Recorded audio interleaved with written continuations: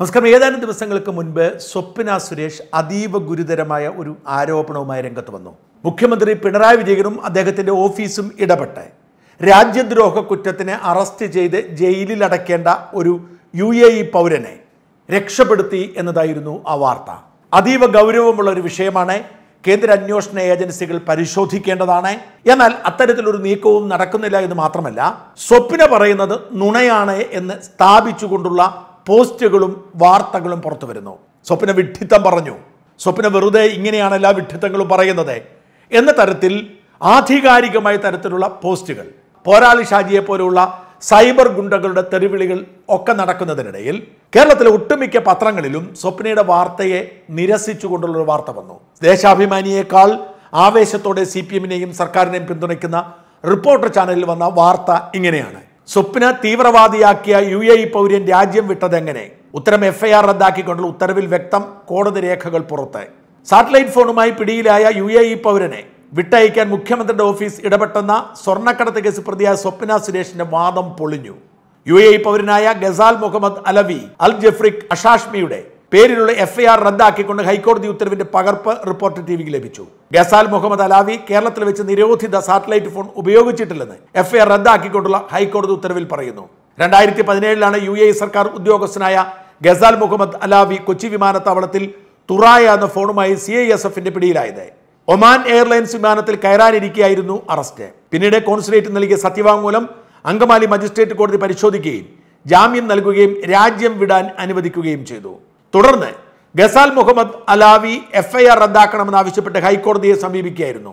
അന്വേഷണത്തിൽ ഗസാൽ മുഹമ്മദ് സംസ്ഥാനത്ത് വെച്ച് നിരോധിത ഫോൺ ഉപയോഗിച്ചിട്ടില്ലെന്ന് കണ്ടെത്തി. ഫോൺ കൊണ്ടുവന്നത് യാദൃച്ഛികമായി നടന്ന സംഭവമാണെന്നതിന് തെളിവുകളും മുൻനിർത്തി രണ്ടായിരത്തി പത്തൊൻപതിൽ കോടതി എഫ് ഐ ആർ റദ്ദാക്കി. മാത്രമല്ല ഗസാൽ മുഹമ്മദിനെ കോടതി മുമ്പായി ഹാജരാക്കണമെന്നതിന്റെ ഉത്തരവാദിത്വം തങ്ങൾ ഏറ്റെടുക്കുന്നതായും അന്വേഷണത്തോട് പൂർണമായി സഹകരിക്കുമെന്നും യു എ കോൺസുലേറ്റ് സത്യവാങ്മൂലത്തിൽ വ്യക്തമാക്കിയിരുന്നു. കേസുമായി ബന്ധപ്പെട്ട നിയമപരമായ വിഷയം കോടതികളാണ് കൈകാര്യം ചെയ്തതെന്നും അതിൽ സംസ്ഥാന സർക്കാരിന് പങ്കില്ലെന്നും രേഖകൾ വ്യക്തമാക്കുന്നു. കേസിൽ ഗസാൽ മുഹമ്മദ് നിയമസഹായം നൽകിയത് ദണ്ഡപാണി അസോസിയേറ്റ്സ് ആയിരുന്നു. കഴിഞ്ഞ യു ഡി എഫ് സർക്കാരിന്റെ കാലത്ത് അഡ്വക്കേറ്റ് ജനറലായിരുന്ന കെ പി ദണ്ഡപാണിയുടെ മകനായ മില്ലു ദണ്ഡപാണി നേരിട്ടാണ് അന്ന് കോടതിയിൽ ഹാജരായത്. ഈ വാർത്ത ആഘോഷമാക്കുകയാണ് പോരാളി ഷാജിമാർ. ഞാൻ അതിന്റെ പിന്നാമ്പുറത്തെ കഥ അന്വേഷിച്ചു. ഒപ്പം ഞാൻ സ്വപ്നയുടെ അഭിപ്രായം തേടി. ഈ വീഡിയോയുടെ ഒടുവിൽ സ്വപ്ന അതിന് നൽകിയ മറുപടി കൂടി ഞാൻ കേൾപ്പിക്കാം. വാസ്തവത്തിൽ എങ്ങനെയാണ് സി പി ഐ എം മാധ്യമങ്ങളെ ഇങ്ങനെ കൈവശപ്പെടുത്തിയിരിക്കുന്നത് എന്നത് എന്നും എന്നെ അത്ഭുതപ്പെടുത്തുന്ന ഒരു ചോദ്യമാണ്. പിണറായിയുടെ സ്ഥാനത്ത് ഉമ്മൻചാണ്ടിയോ? എൽ ഡി എഫിന്റെ സ്ഥാനത്ത് യു ഡി എഫോ ആയിരുന്നു ഭരണമെങ്കിൽ അവരൊരിക്കലും ഈ വാദങ്ങൾ അംഗീകരിക്കുമായിരുന്നില്ല അങ്ങനെ സന്ധി ചെയ്യുമായിരുന്നില്ല. ഇവിടെ സർക്കാർ എന്ത് പറയുന്നുവോ പിണറായി എന്ത് പറയുന്നതോ അതാണ് ശരി എന്ന് തീരുമാനിച്ച് അതിനെ പിന്തുണയ്ക്കുന്ന തരത്തിലുള്ള വാർത്തകൾ കൊടുത്ത് അവസാനിപ്പിക്കുകയാണ് എല്ലാ വിവാദങ്ങളും. ഇവിടെ ആകപ്പാടെയുള്ള ഒരു ശരി എഫ് ഐ ആർ റദ്ദാക്കി എന്നത് മാത്രമാണ്. ഹൈക്കോടതി വിധിയുടെ കോപ്പി റിപ്പോർട്ടർ ചാനൽ കാണിച്ചത് ശരിയാണെന്ന് ഞാൻ പ്രേക്ഷകരെ കാണിക്കുന്നു. എന്നാൽ എങ്ങനെയാണ് ഇത് സാധിച്ചത്? ആദ്യം മനസ്സിലാക്കേണ്ട കാര്യം നിയമത്തിൽ ചില നടപടിക്രമങ്ങളുണ്ട്. ആ നടപടിക്രമങ്ങൾ പാലിച്ചില്ലെങ്കിൽ കേസ് ക്വാഷ് ചെയ്യാനുള്ള അവകാശം ഹൈക്കോടതിക്കുണ്ട്. കുറ്റം ചെയ്തോ ഇല്ലയോ എന്നത് പരിശോധിക്കേണ്ട ബാധ്യത ഹൈക്കോടതിക്കില്ല. ഹൈക്കോടതി നോക്കുന്നത് ഈ കേസിന്റെ നടപടിക്രമങ്ങൾ പാലിച്ചോ എന്നതാണ്. നടപടിക്രമങ്ങൾ പാലിക്കാതെ ഒരു കേസെടുത്താൽ ആ കേസ് നിലനിൽക്കില്ല ഹൈക്കോടതി റദ്ദ് ചെയ്യും. ഇവിടെ സംഭവിച്ചത് അതാണ് ഹൈക്കോടതി ഈ കേസ് റദ്ദാക്കാൻ കാരണം അതിന് നടപടിക്രമങ്ങൾ പാലിച്ചില്ല എന്നതാണ്. രാജ്യദ്രോഹ കുറ്റം അടക്കമുള്ളവ ചാർജ് ചെയ്ത് അകത്തിടേണ്ട ഒരു കുറ്റകൃത്യമാണ് വാസ്തവത്തിൽ ഈ യു എ ഇ പൗരൻ ചെയ്തത്. ആ യു എ ഇ പൗരനെ പുറത്തിറക്കാൻ മുഖ്യമന്ത്രിയുടെ ഓഫീസ് ഇടപെട്ടു എന്നത് അതീവ ഗൗരവമുള്ള വിഷയമാണ്. ആ വിഷയമാണ് സ്വപ്ന ഉയർത്തിയത്. ഈ മുഖ്യമന്ത്രിയുടെ ഓഫീസ് പറഞ്ഞ് ജാമ്യം കൊടുത്തു വിടുമ്പോൾ അതിനുവേണ്ടി യു എ കോൺസുലേറ്റ് സത്യവാങ്മൂലം കൊടുക്കുമ്പോൾ കോടതി ജാമ്യം കൊടുക്കും. അതിൽ തെറ്റൊന്നും പറയാൻ പറ്റില്ല. അതിനുശേഷം ഈ കേസിൽ ഒരു അന്വേഷണവും നടന്നിട്ടില്ല. ഒന്നാമത്തെ കാര്യം.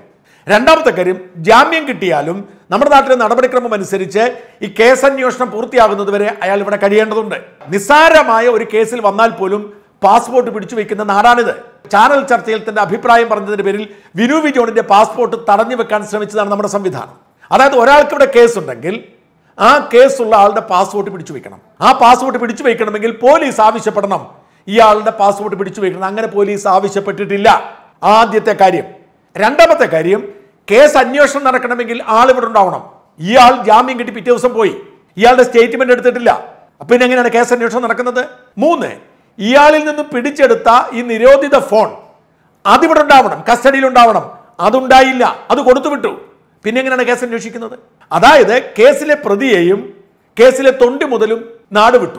പിന്നെ എങ്ങനെയാണ് കേസ് അന്വേഷിക്കുന്നത്? കേസ് അന്വേഷണമേ നടന്നിട്ടില്ല തെളിവ് ശേഖരണം നടന്നിട്ടില്ല ഉപയോഗിച്ചോ ഇല്ലയോ എന്ന് കണ്ടെത്തിയിട്ടില്ല. ഇവിടെ ശ്രദ്ധിക്കേണ്ട കാര്യമുണ്ട്. ടെലിഗ്രാഫ് നിയമം അനുസരിച്ച് കേസെടുക്കാനുള്ള അവകാശം സെൻട്രൽ ഗവൺമെന്റിനാണ്. അത് ആ വിധിയിൽ കൃത്യമായി പറയുന്നുണ്ട്. വെറുതെ വിടുന്നതിന് കാരണമായത് വിധിയിലെ ഒരു പരാമർശം കൂടിയാണ്. അതായത് ഇയാളുടെ പേരിൽ ടെലിഗ്രാഫ് ആക്ടിലെ സെക്ഷൻ ഫോറും ട്വന്റിയുമാണ് ചാർജ് ചെയ്തത് മൂന്നാമത്തെ പാരഗ്രാഫിൽ കോടതി പറഞ്ഞു section four of the act only mentions the exclusive privilege of central government to establish maintain and work telegraphs Section 20 of the Act provides that if a person contravenes the provisions of the section for established, maintains, or works the telegraph otherwise than provided by the rules made under the section shall not be punished. അതായത് നാലും പത്തും അടക്കമുള്ള section അനുസരിച്ച് case കേസെടുക്കേണ്ടതും നടപടി എടുക്കേണ്ടതും state government അല്ല. State government അധികാരമില്ല. ഇവിടെ സ്റ്റേറ്റ് ഗവൺമെന്റ് കേസ് കേസെടുത്തു. സ്റ്റേറ്റ് ഗവൺമെന്റ് ചെയ്യേണ്ടിയിരുന്നത് പോലീസ് കൈമാറിയപ്പോൾ വളരെ കൃത്യമായി ഈ രേഖകളും കേസും. ഡബ്ല്യു പി സി എന്ന് പറയുന്ന ഒരു ഓർഗനൈസേഷൻ ഉണ്ട്. തിരുവനന്തപുരത്ത് വട്ടിയൂർക്കാവാണ് ഇതിന്റെ office wireless and planning commission എന്നാണ് പറയുന്നത്. അവരാണ് അതിന്റെ അന്വേഷണം പൂർത്തിയാക്കേണ്ടതും അവർക്ക് മാത്രമാണ്. ഇതുവഴി ഫോൺ വിളിച്ചോ ഇല്ലയോ എന്ന് കണ്ടെത്താൻ കഴിയുന്ന പോലീസിനല്ല. അങ്ങനെ കണ്ടെത്തി അതിന്റെ അടിസ്ഥാനത്തിൽ പോലീസിന് കേസെടുക്കാം. ഇതൊന്നും ചെയ്യാതെ പ്രതിയെയും സാറ്റലൈറ്റ് ഫോണും തിരിച്ചു കൊടുത്തു വിട്ടിട്ട് ആ കേസ് നിലനിൽക്കണമെന്ന് പറഞ്ഞാൽ എങ്ങനെ ശരിയാവും? നിലനിൽക്കില്ല. ഈ യു ഐ പൗരൻ അവിടെ പോയിട്ട് ഇതാ ഇത് രണ്ടു കൊല്ലം കഴിഞ്ഞിട്ട് രണ്ടായിരത്തി പതിനേഴിലാണ് സംഭവം.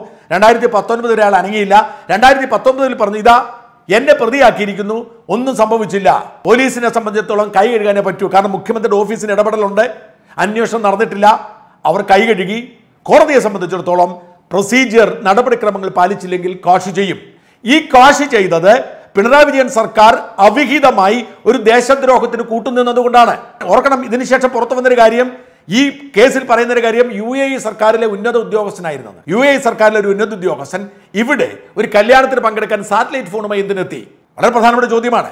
ഈ സാറ്റലൈറ്റ് ഫോൺ ഇയാൾ ഇത്രയും ദിവസം എവിടെയാണ് ഉപയോഗിച്ചത്? ആരെയൊക്കെ വിളിച്ചു? ആർക്കും അറിയില്ല. അപ്പോൾ അന്വേഷണം നടത്താതെ സഹായിച്ചതിന് ശേഷം ആ ഗുരുതരമായ ക്രമക്കേട് വിളിച്ചു പറഞ്ഞ സ്വപ്നയെ പഴിചാരുന്നവർ വിഡ്ഢികളാണ്. ഇവിടെ ഇങ്ങനെയാണ് നടക്കുന്നത് എന്ന് വ്യക്തം. എന്തായാലും ചാരപ്രവർത്തന ഉത്തരവാദിത്വത്തിൽ നിന്നും പിണറായിക്ക് രക്ഷപ്പെടാൻ സാധ്യമല്ല.